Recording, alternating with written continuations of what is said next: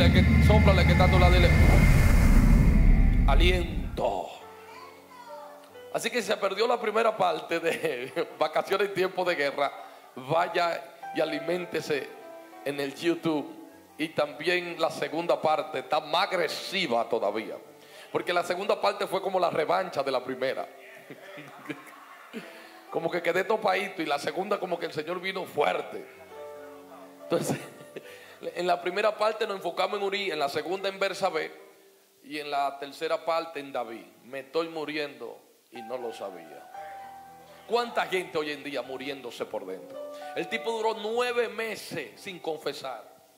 Nueve meses ocultando su diablura. Nueve meses. Atento que era el ungido, el rey, el guerrero mata gigante.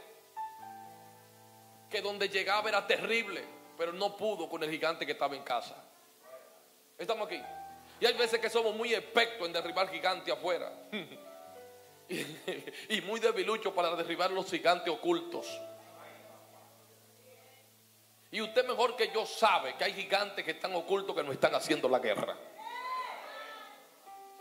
Entonces, don David en tiempo de guerra cogió sus vacaciones. Qué abusador. A usted no le luce por nada del mundo. Si usted tiene la oportunidad de venir al lunes de fuego y le dan el permiso en su iglesia y no hay culto, ¿qué usted busca en vacaciones? Venga a soplar ceniza aquí para que se meta en leña y le meta fuego a ese asunto.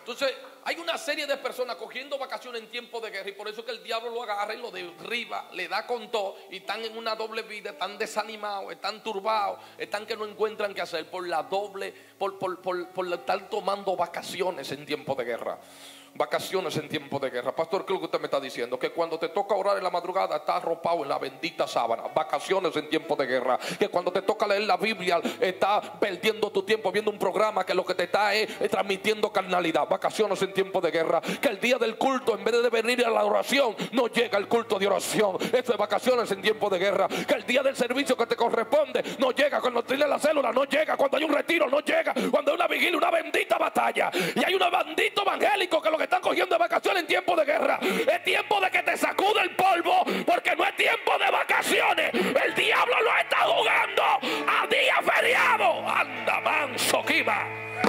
Dale un codazo que está a tu lado. Yo lo sé de ti. Pero esto es que hay una guerra infernal. El diablo no quiere verte prendido. El diablo está buscando la manera de destruirte. Por eso deja de estar cogiendo vacaciones.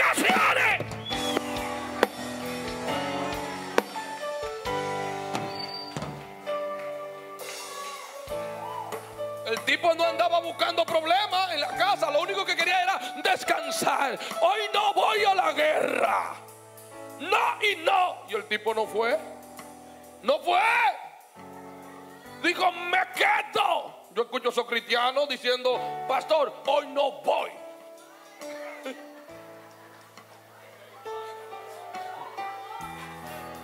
Otros dicen, pastor, me llegó una familia de, de, de, de, de, de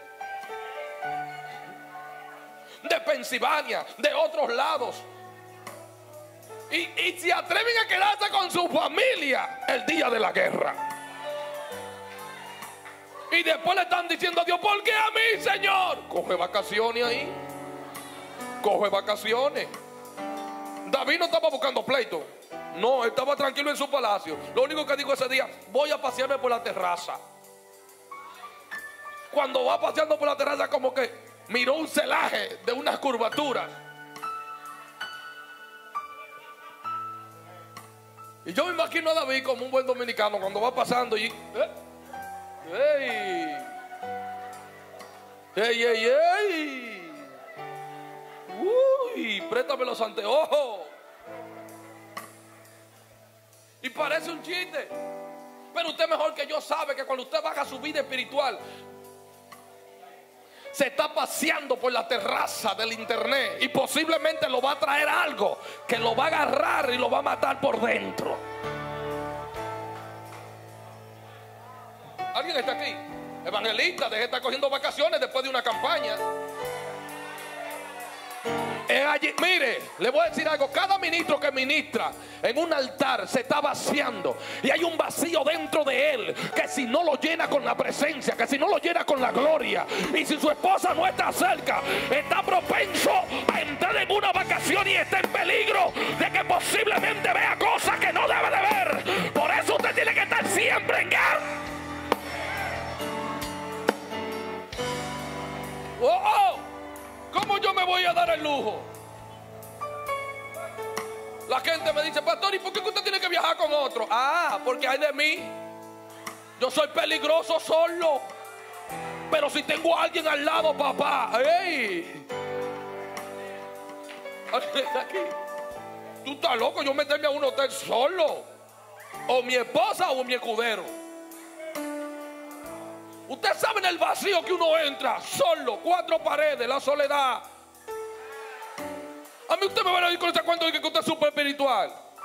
A otro cuento, otro cuento, papá. Te viste en un estuche. Estamos aquí, por favor. Usted sabe de lo que yo le estoy hablando. Le voy a entrar en una introducción que estoy haciendo de algo, de un resumen. Pero usted puede ir a YouTube para que lo vea completo. El asunto es que David cayó en el error de sus vacaciones y esto lo llevó a ser atraído, amarrado por una hermosa mujer que modelaba la intemperie. Esa buena tigra. Por eso, mujer que está aquí, tenga misericordia, deje de estar poniéndose ropa que lo que está matando al hermano. Misericordia. Si usted sabe que usted es bendecida de este asunto aquí, deje de cúbrase bien. Tenga piedad. No es que somos religiosas, pero tampoco somos liberales. Oh, oh, por el hermanito que usted tiene al lado, ¿usted cree que es un hierro? No. No es un hierro, él siente.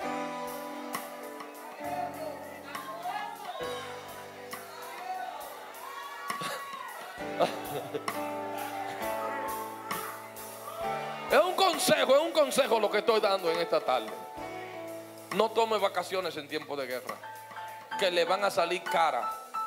Nueve meses, el tipo hizo silencio. Por nueve meses, él pensaba que nadie sabía lo que a él estaba pasando. Y en esos nueve meses, él comienza a escribir un salmo, que es el Salmo 32, uno de los salmos más favoritos míos. Dice, bienaventurado aquel cuyo transgresiones han sido perdonadas y cubiertos sus pecados. Bienaventurado el hombre quien Jehová no culpa de iniquidad y en cuyo espíritu no hay engaño. Mientras callé, ahí fue el problema. Mientras callé, se envejecieron mis huesos y en mi gemir todo el día. Porque de día y de la noche se agravó sobre mí tu mano, se volvió mi verdor en sequedades de veranos. Mi pecado te declararé y no encubriré mi iniquidad. Dije, confesaré mis transgresiones a Jehová y tú perdonate la maldad de mi pecado. Usted está escuchando lo que está escribiendo. Tipo está diciendo que mientras él cayó, mientras él hizo silencio, por nueve meses él tenía todo ocultado. Tremendo guerrero, tremendo rey, el ungido de Dios. Pero por nueve meses el tipo se estaba muriendo y nadie lo sabía. Una de las cosas que el enemigo quiere que cuando nosotros fallamos es que hagamos silencio. Y te amenaza diciéndote a la conciencia, si abre la boca te van a juzgar. Si abre la boca te van a quitar el puesto. Si abre la boca te va a perder la posición. ¿Qué me importa posición? ¿Qué me importa puesto? ¿Qué me importa reputación? A mí lo que me importa es su presencia. Lamentablemente hay líderes que se están muriendo por dentro por miedo a abrir la boca. Llevan meses, años, que saben que hicieron algo mal y no quieren abrir la boca. Yo te estoy hablando y tú me estás viendo. Esta es tu temporada de abrir tu boca. Porque mientras estés callado, te está muriendo. Te está muriendo. Usted se imagina David. Manda a buscar a Urias, lo siente en la mesa y están comiendo los dos. ¿Cómo usted cree que David se sentía? Tratando de resolver el problema. ¿Cómo usted cree que se sentía al frente de su mejor líder? Comiendo a la mesa. La conciencia es algo que acusa, de barata, destruye, aplata. La conciencia acusa. Huye el impío sin que nadie lo persiga. La conciencia continuamente te está martillando. Tú sabes que lo que hiciste lo hiciste mal. Usted se imagina David con su mejor líder sentado a la mesa, mientras por dentro no encuentra cómo salir de la situación. ¿Cuánta gente hay así? Que le clavaron la puñalada a su hermano. Y su hermano el día menos esperado vino y lo sacó, le trajo un plato de comida y le trajo un regalo. Y usted se está muriendo por dentro sabiendo que le habló mal de él. ¿A cuánto de nosotros no ha pasado eso?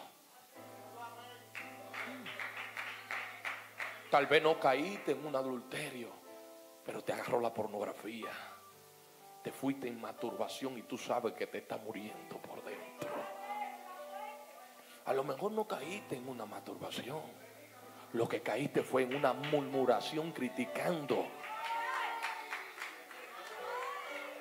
Y sabes que te está muriendo por dentro. Te encontraste con esa persona, lo abrazaste, pero por dentro de ti dice que desgraciado soy lo acabé, lo destruí y mira cómo me está tratando. ¿Cuántos hombres se lanzaron la mujer de su prójimo y, lo invitan a comer, lo invitan a abrazar y la conciencia lo está matando?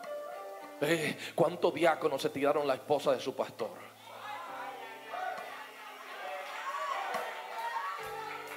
Están ahí en la iglesia y saben que se la tiraron y creen que Dios no lo sabe. Se están muriendo. Pero hoy yo te traigo buena noticia. Al igual como Dios mandó a Natán a decirle a David, hay una unción sobre ti. Tú no puedes morirte por dentro. No puedes morirte con ese pecado dentro. Hay una gracia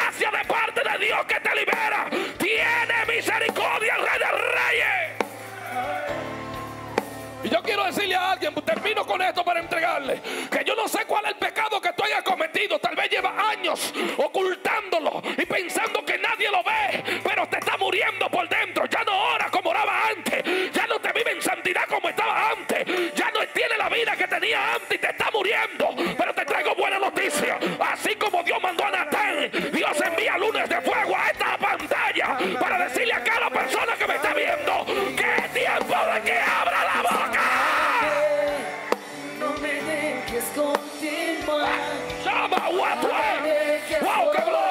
Siento la gloria de papá. Háblame y hazme saber que no estoy mal.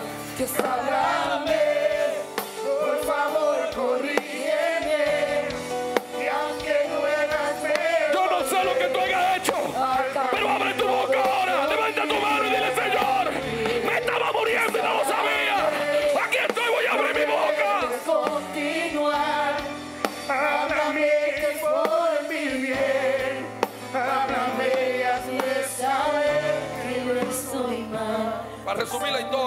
dice, Natán, vete.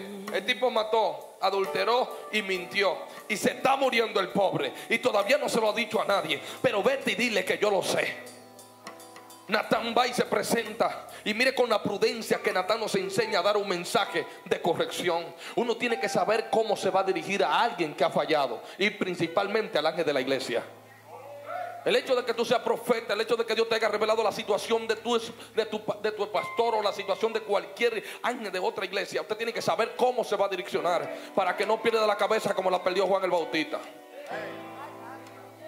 Yo entiendo que Juan dio el mensaje correcto, pero en la manera incorrecta. Hay muchas maneras de decir la verdad. ¿Alguien está aquí? Natán supo manejarse. Y cuando llegan de David, dice David, te tengo una historia. Y necesito que tú me des el último veredicto. Y cuando comiences a darle la historia, había un señor pobre que tenía una oveja y había otro que, tenía un, que era rico, tenía miles de ganados. Le llegó un visitante de tierra lejana y él no quiso matar ninguno de sus ganados, sino que agarró la ovejita que tenía el pobre. La degolló y se la entregó. ¿Qué tú crees que se le puede hacer a ese tipo? Y David sacó el dedo señalador. Tal tiene que morir.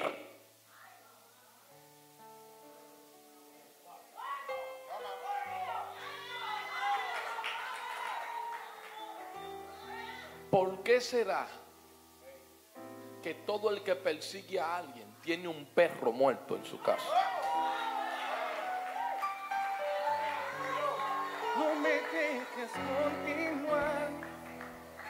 Por eso hemos identificado a los satanistas, los brujitas, vestidos de cristianos rajatabla, eh, que viven persiguiendo el Facebook y que viven criticando este ministerio. Ya entendemos, eres un brujo. Tú no puedes ser del equipo de Dios porque el equipo de Dios no se persigue entre sí. Tú tienes que ser un satanista, tú tienes que ser un endemoniado. Pero hoy tú puedes abrir la boca y confesarlo ahora para que sea libre.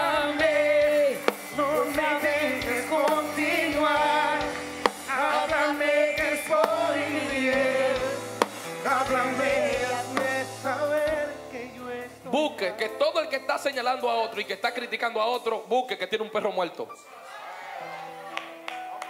Porque el que ha sido perdonado, oh gloria al Señor, el que ha sido redimido, el que sabe de dónde Dios lo levantó, le dice, yo no soy quien para criticar a quien, porque yo estuve en esa condición, yo estuve en el piso, yo estuve que no valía nada,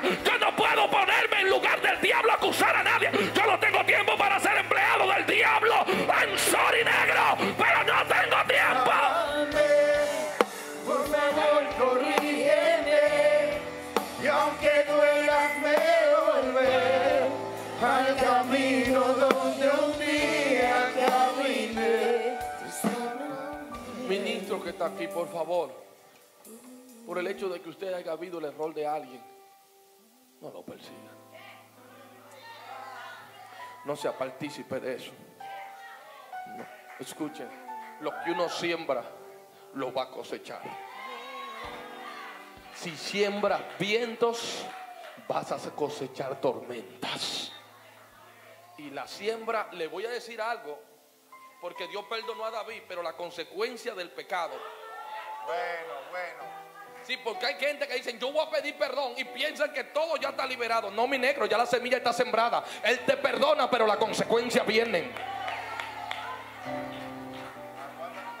Nadie nos va a librar de la consecuencia.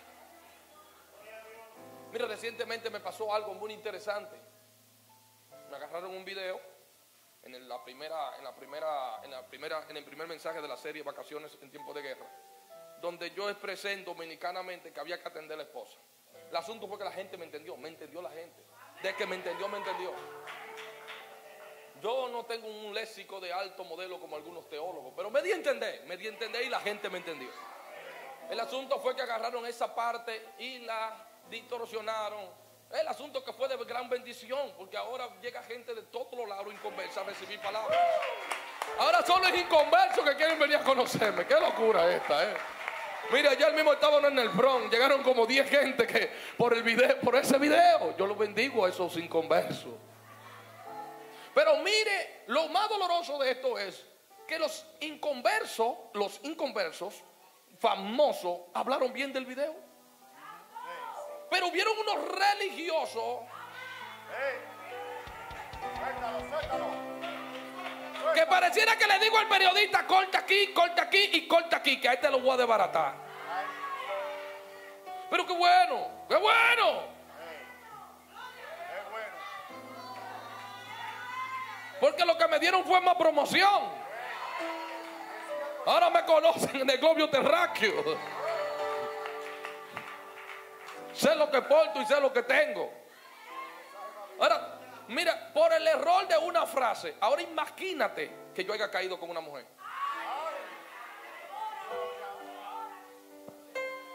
Imagínate cómo está el pueblo. Pero esos que hablan barbaridad y que persiguen a otros, búsquenle que tienen un perro muerto. El asunto es que no, no le voy a negar. Una noche entera fue oscura para mí.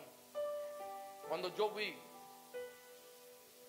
que uno de los canales más famosos, micro, micro telemicro, después yo de, de- de un culto fa- poderoso, llego a las 11 y lo que me mandan este video, digo yo, Dios mío, fue duro para mí. Una noche entera sin pegar un ojo, preguntándole a Dios por qué, por qué, por qué, por qué. Háblame. Le digo allá, sí, ¿por qué? Pues un día orando aquí a las 4 de la mañana, bajo esta presión, preguntando por qué, vino la respuesta. ¿Y cuál fue la respuesta? Se lo voy a testificar. Porque esto le va a servir a alguien. ¿Tú te acuerdas, negro, cuando tú agarraste un videíto que estaban hablando mal del arrebatamiento? Aunque ellos estaban mal, y es verdad, estaban mal. Pero tú fuiste principiarte y lo mandaste a dos, y esos dos lo mandaron al país entero.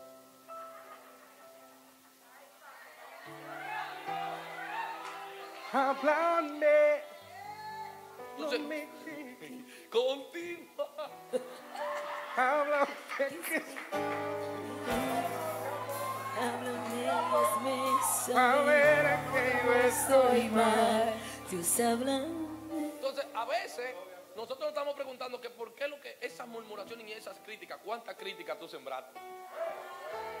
Analízate. ¿Cuántas murmuraciones hemos sembrado? ¿Cuántos señalamientos hemos sembrado? Porque tendemos a eso. Nosotros uh, andamos con una vara llamada pecómetro, midiéndole el pecado a todo el mundo. Si este está frío, si está caliente, si está apagado, si está... Y usted mejor que yo lo sabe. Pero hoy el Señor me mandó como Natán. Porque yo sé que hay muchos aquí que se están muriendo y nadie lo sabe. Es más, ni ellos lo saben. Entonces hoy hay que culminar esa malicia de murmuración y crítica y chisme y lengua larga. No carga en el error de desahogarse con nadie. Vamos a practicar la regla del oro, capítulo 6 de Lucas. Practiquemos eso sencillo. Amar a vuestros enemigos. Mira cómo comienza la regla del oro. Amar, terminen de. Todo lo que terminen de es un mandato de Dios. No es si tú quieres, no es si tú sientes, no es si tú puedes. Es una orden que si tú eres cristiano, tienes que amar a tu enemigo. Entonces vamos a practicar la regla del oro y quitemos la máscara de la hipocresía de decir que somos cristianos. Porque cuando viene a ver, nos estamos muriendo y no lo sabíamos. Óyeme cuánto amén, ¿eh? ¿Cómo, cómo nos gusta que nos profeticen? Eso viene, no hay problema. Pero tenemos, tenemos, tenemos que reconocer. Vamos a reconocer que hemos caído en ese error de murmuración y crítica. Y ya no persigamos al hermano. Yo tuve que aprender eso de David. David persiguió y con la misma vara que juzgó, fue la misma vara que lo juzgó a él. ¿Se da cuenta? Por eso yo aprendí que todo el que juzga a alguien tiene un perro muerto. Todo el que te está persiguiendo envidia lo que tú tienes. Entonces, ¿qué es lo que tú tienes que hacer? Cuando tú sabes que hay alguien que te está persiguiendo, invítalo a un buen relote, dale una buena langota, préstale el carro por cuatro horas, ven para que sienta lo que se siente en el carro, ven, ven, ven, ven. Abrázalo, bésalo. Y usted va a ver que el diablo se va a quedar en vergüenza. Yo he decidido practicar eso. Yo aprendí a comer con Judas. Sin tener resentimiento. Aprendí, tuve que aprenderlo en este proceso. Y voy a amar a todo el que me critica, a todo el que me murmura. De hecho, le voy a mandar una ofrenda a Telemico. Ya. Ahí está. La primicia. Y le voy a dar una ofrenda a- al show de mediodía. Hay que ofrendarle a esa gente porque es que se- vinieron literalmente y se pararon aquí sin el permiso mío, tomaron la dirección, tomaron el banner y este fue el anuncio. 1.36 de la Mount Pleasant Avenue, donde el supuesto pastor pastorea. Y que nadie me conoce, hermano. Wow, wow, wow. Alguien que está aquí, por favor. El asunto es que en esos días yo aprendí en ese rinconcito ahí, ahí detrás de esa batería, yo aprendí a confesar y abrir mi boca. Abra su boca. No se muera. Dios tiene un propósito con usted. No permita que eso oculto lo esté matando por dentro. Así que esa falta de perdón hay que arreglarla ya. Ese pecado oculto hay que dejarlo ya. Esa lengua mime hay que soltarla ya. Hay que activarse. Póngase de pie. Agárrele la mano al que está a su lado. Reba. Hoy voy a hacer una oración sencilla. Priétele la mano que está a su lado. Levántesela arriba. Raboso rebakiama. Dame un segundo, muchachos. Dame un segundo, por favor. Rebashandarabakatarabashende. Rebashab. 60 segundos hablando el lenguaje celestial. Por 60 segundos yo quiero que tú te liberes totalmente de cualquier cosa oculta. Dios te trajo aquí con un propósito hoy. Tú no puedes irte de aquí igual. Padre, que el nombre de Jesús, aquí está la generación de David que confiesa. Los que declaran y dicen claro el problema. No vamos a ocultar que cogíamos de una pata, Señor, que tenemos debilidades. Señor, te lo vamos a confesar. Te lo vamos a declarar, Padre mío. Aquí estamos porque entendemos que hay un propósito cuando abrimos nuestra boca. Yo no me voy a callar, voy a confesar, voy a hablar, Señor, lo que me está pasando. Yo no puedo irme con esta agonía dentro de mí, de este lugar. Padre, en el nombre de Jesús, por los próximos 60 segundos, yo te pido que ministre a tu pueblo, ministranos a cada uno, desde el más chiquito al más grande, desde el que está en el internet